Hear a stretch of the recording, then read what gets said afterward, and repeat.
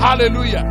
When the Lord gave the blessing to Abraham, or when the Lord gave the mandate to Abraham, and in you all the nations of the earth shall be blessed. That's the mandate. In you all the nations of the earth shall be blessed.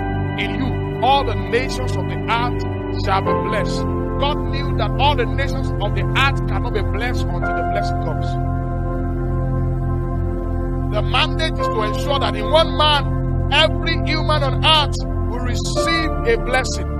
But there must be a blessing God will place upon that man for that mandate to come to pass. And Galatians chapter 3 now made us understand that the blessing is the spirit. Say the spirit. The spirit is the blessing by which every nation of the earth can be blessed in Abraham. For it's by the spirit that we all become part of the of the partaker of the covenant by the spirit.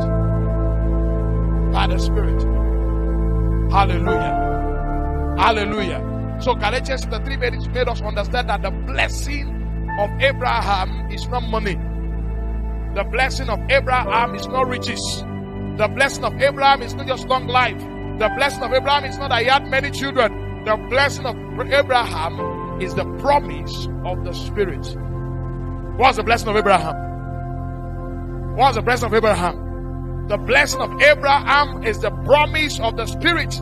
For the man that partakes in the of the Spirit is the man that can partake in the covenant of Abraham. If you don't have the Spirit, you are not a child in the covenant of Abraham. Hallelujah. Hallelujah. The problem with the believer or many believers is that they think the blessing is are things.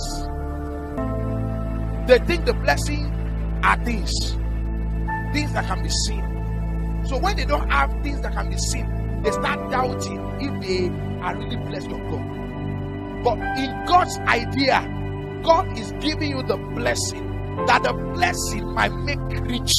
Did you read in the book of Proverbs? Is the blessing of the Lord that what? And that means the blessing is not riches. Are you here with me? The blessing makes rich.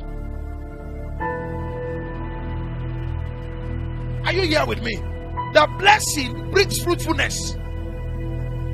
So if you look at your life and it seems as if there's no wealth, there are no riches around you, don't doubt the blessing. The blessing is in you.